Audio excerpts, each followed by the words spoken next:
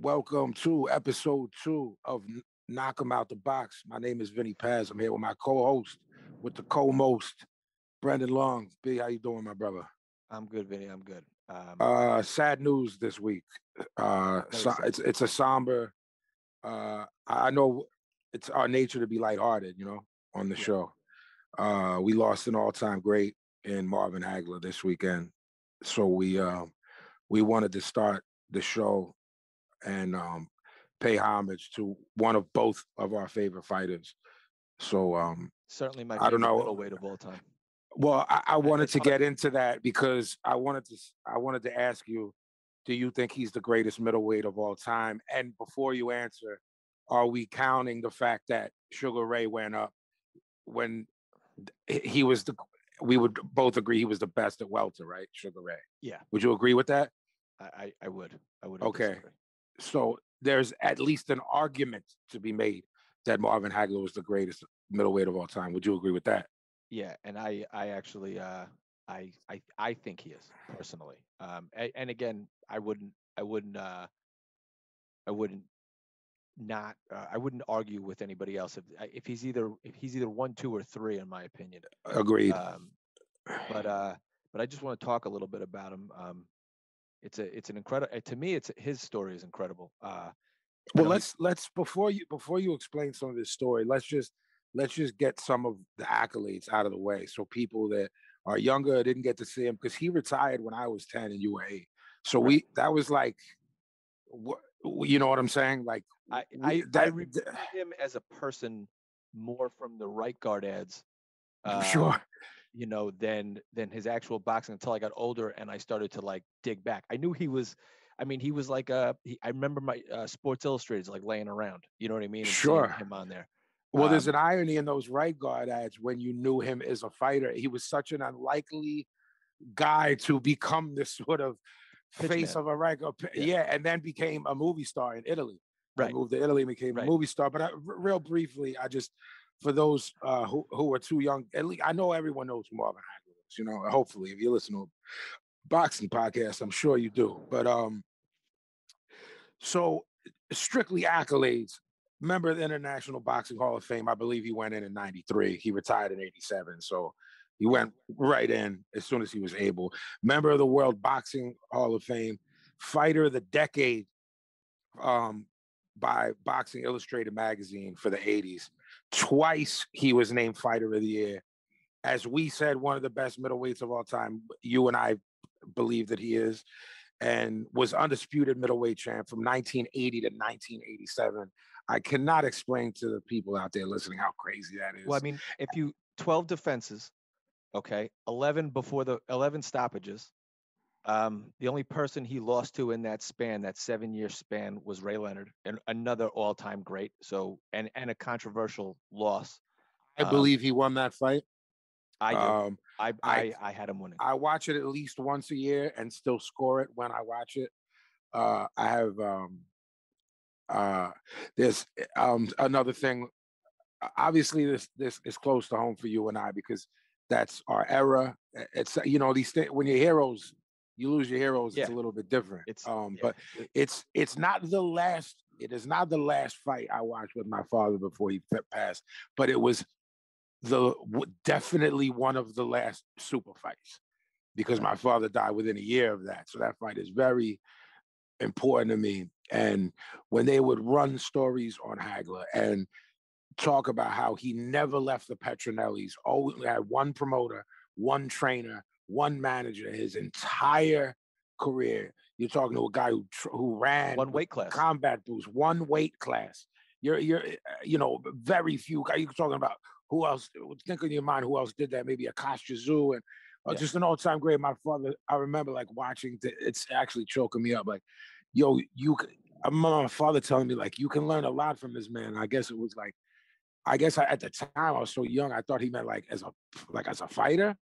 I didn't know what he was. I- that's but I didn't know what he was trying to tell me. It was his loyalty, his uh, uh, his not only his style in the ring, his style outside of the ring. The, uh, uh, Right. lo- the probably the most loyal loyal fighter ever to everyone that he had around him.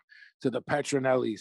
You're talking about racial tension in the country at that time. This is a black guy in Brockton from Newark, training with paisans from from Massachusetts. The story that you wanted to talk about is just so interesting. Besides his greatness in the ring, you know, but and and um, and really made his bones in Philly.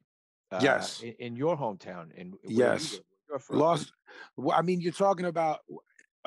I know. I'm sure. I know. We've spoken about this off air, but all three of his losses are uh, could have been wins.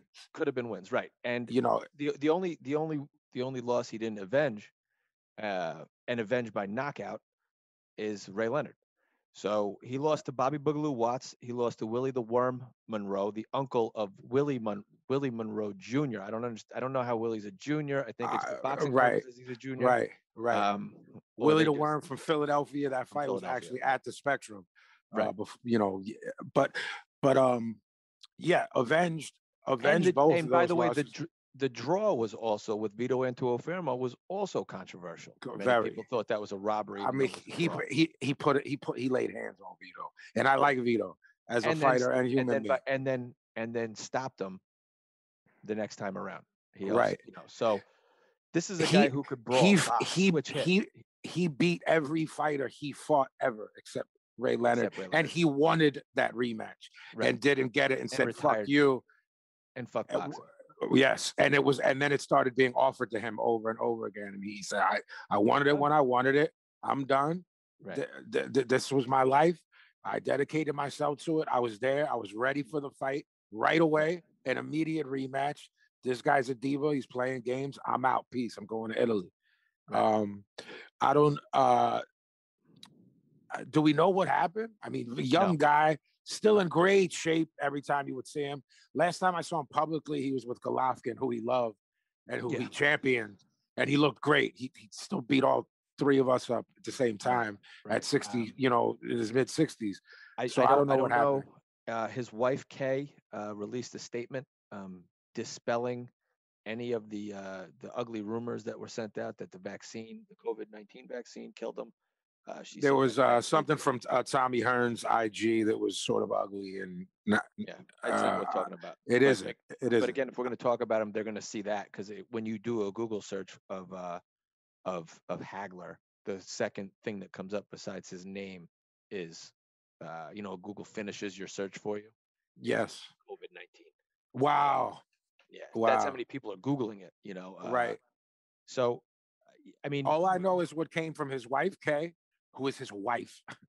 and his his son James said, My father was having trouble breathing, and he said his chest hurt, and we took him to the hospital. Sounds you know like a heart I mean? attack to me. Yeah, sure, sure. I mean, it, um, I, I, I, you know, it's. Uh, I think it's very irresponsible where some of these people are taking it. You know what I mean? And I'm. Um, it's sad, and that the fact that the family now has to defend those allegations when they just want to mourn it's and if that's even coming up, B, when we should be celebrating this guy's career and life, right? That that's that's an addendum to it. Like, no, no, no, no, no, no, no, no. You're talking about the greatest middleweight that ever lived. For right. for for the purposes of the show, one of the greatest middleweights that ever lived. It's top 15 of all, all time. He's in my he's in my personal top 50. You know, I have a right. I one time I did a top 20 or 25 just to do it and I have it saved in my phone, ironically. So anytime anyone asks me, I don't have to rethink the list. And when this happened, and you said we have to talk about Marv Bash, we have to talk about him. I was like, he's the top. You're talking about a hundred and twenty plus year sport, and a guy who this is, tens this is, of thousands. Pri- of ten- yeah, prior prior to the show, I said to Bill, I said, this is like Nolan Ryan dying. This is like Joe Namath passing away. This is this is what this man is to boxing. This is yes one to three guys at his weight, and and by the way, it's a glory division, so middleweight's been around forever. Yes. Um, so this is a this is a division that's not one of these subdivisions, mid divisions that they correct. You're talking the pantheon of Jake LaMotta, right. Sugar Ray Robinson, Carlos Monzon, Bernard Hopkins, uh, in the pantheon of the sport. Just the Mount Rushmore are middleweights. You know, what right, right, these, right. I mean, these, if if you look at his Philly resume before he was a champion in 1980 alone, he fought Bennie Briscoe at hard as, as we, nails. Yeah, as we mentioned, Bobby Boogaloo Watt. These were his come up fights. Yes. Willie Monroe, and he got ripped off. You know, so when you really what we could do is just get into the man who he was. His mother, after the Newark riots, moved him and his brother to Brockton, Massachusetts. I think he was 13 when they got yeah, he was a out of there. shy kid, new kid, you know, in Yeah. town, and uh, he he wandered into a boxing gym, and uh, and and couldn't afford, you know, the fees, and the Petronellis were pretty cool like that, where if you couldn't, they'd train you anyway. But he said, well, I don't I don't really do anything for free. There's got to be a catch. They owned a construction company, so he went to work for them. The guy worked construction. He was just he's just a tough, tough, tough guy. Tough as nails. Right. And he worked construction for these guys and and they trained him and molded him and shaped him and he sh- and I, I think there was a, the shape was already there. They just had to point him in the right direction. Yeah. Talent was there. They just The had to- mentality was there. to Everything curate was it. there. Yeah. and and again, uh, he could do anything. He could box. He could brawl. Uh, he could switch hit before that was a a, A thing. a thing. And what I mean by switch hit, he was a southpaw, uh, listed as a southpaw, but he could just as easily box you from an orthodox stance. Um, if he needed to jab you, jab you, he would jab you. If he need, it was time for you to go to, for, him to end the night early, he'd end the night early. Um, you, I, I don't often say that there is a is a gap in talent when with when guys are top level. Usually a hair of a difference, and it Sure. it, translates into something, you know, in any sport, by the way.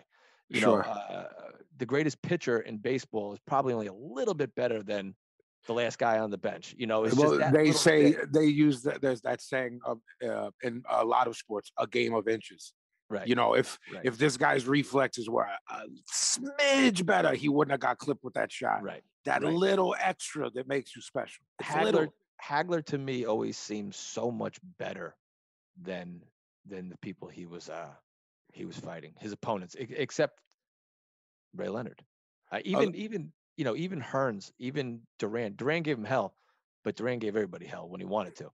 Um, but and that was also later in his career. And again, we talk about his come up fights. His come up fights in the '70s were is like you know he had to fight everybody.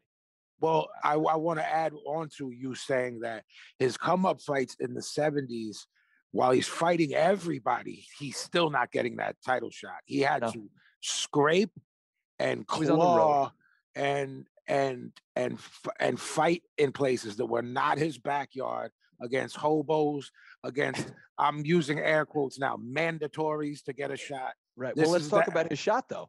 He had to go to Wembley and deal with boxing hooligans to to beat Alan Minter.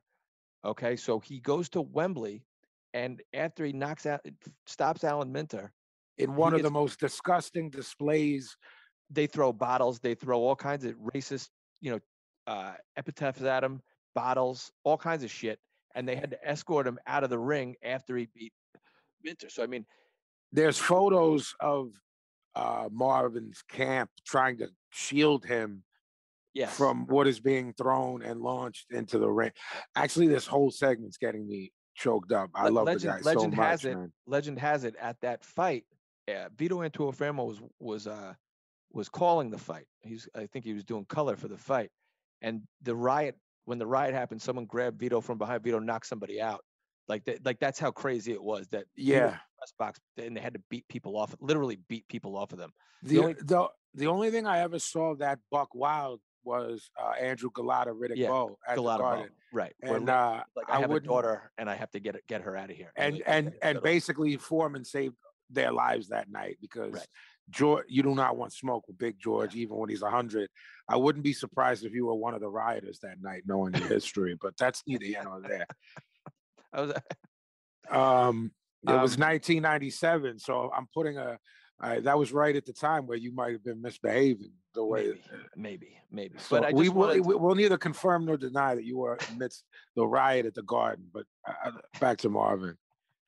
I, I think he deserves an entire show uh, where we can we can really do him justice. And uh, I do too. And, if and people want that, let us know. career. Yeah, guys, eh, that's that's right, Vin. Guys, tell us. Let us know if that's something you guys want, and we will- Comment under the video, and Right. um, that's And what I- we're here for. and I just want, and I'm going to point this out later on in the show, and I wanted to point it out now, and I have it with me. If you, if what he was a part of, Hagler, and I'm talking about him in a larger sense, was the last, a lot, well, commonly referred to as the last golden era of boxing. So post Ali, there was a drought, and there was four guys that resurrected boxing. The four until kings. Mike Tyson. Yes. Right here. So Yes. if you guys, if you guys are interested, this is the book. I recommended it uh, on Discord to uh, to one of our listeners, and I, I really recommend you guys getting out there. And and of course, there's a forward by Pete, Ham- the late great Pete Hamill, uh, in here, and uh, it's touching because Kimball died shortly after this, and now I'm getting choked up because this book means so much to me. Uh, I've read the book maybe four times, um, and it, it's it really puts a an incredible uh, you know tale of how these four guys really kept the sport alive. Uh, And to think to think that the they 80s. were to think that they were in and around the same weight class at the same time, performing at that level. and fought and- 12 times. Yeah, yes. And you saying something earlier about there being a disparity and how there's rarely a big disparity because you're talking about top level guys. At least the people that we're going to be discussing on the show are Right. top level top level guys. And all of these guys, they're they're we will through the through this show that will hopefully last until one of us croaks.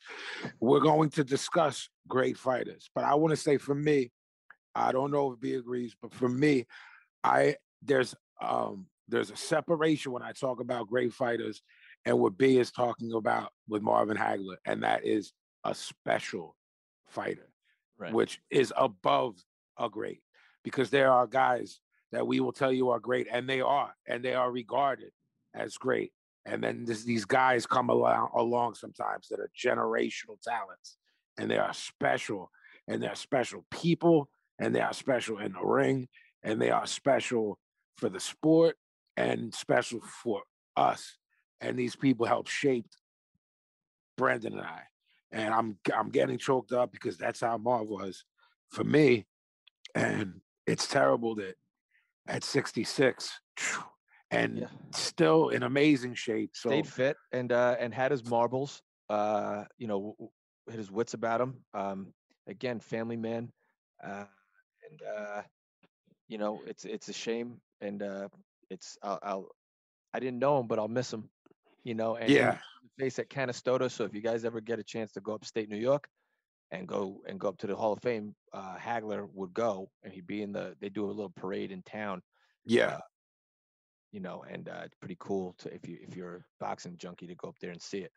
Um, I I think it says something about who he was as a man too. Before we, you know, we wrap up on our on our um, tribute to Marv, is that as a guy in his sixties, uh, w- with worth millions of dollars, spending his twilight years with his wife in Italy, um, comes to the defense of Golovkin when people are calling him a hype job, a great white hype, uh, et cetera, et cetera, et cetera. And Marv came out and said, no, no, no.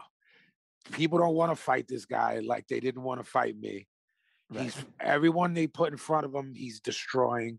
He's a de- destroyer. They're going to do the same thing. They, th- th- this is me all over again.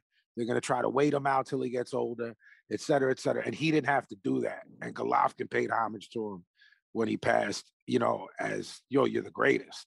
Thank you to the greatest. And I think that says a lot about him as a man, that he, he don't know Triple G from a can of paint, you know, and this is a guy who moved out of the country. It's not like Mar was one of those guys who was ringside every fight in the 2000s. right when he was around, he was around. I think I believe he had property in New Hampshire. So I I believe I think that's where he passed and where he was when he So I think he was, eh, you know, in New England still, uh, you know, part time, I believe, uh, and um, and and uh, you know he'll be missed. Uh, all time great middleweight, all time great fighter, and uh, we'd like to. Uh, we're gonna do we're gonna do a segment here uh, whenever one of the greats passes, and uh, we're gonna we're gonna give him the, the ten bell salute. So we're gonna take a moment of silence and uh, celebrate Marvin Hagler and remember him. At this time, our timekeeper at the bell, in the tradition of the sport of boxing, will toll a memorial count of ten for the all-time great Lewis, Marvin Hagler.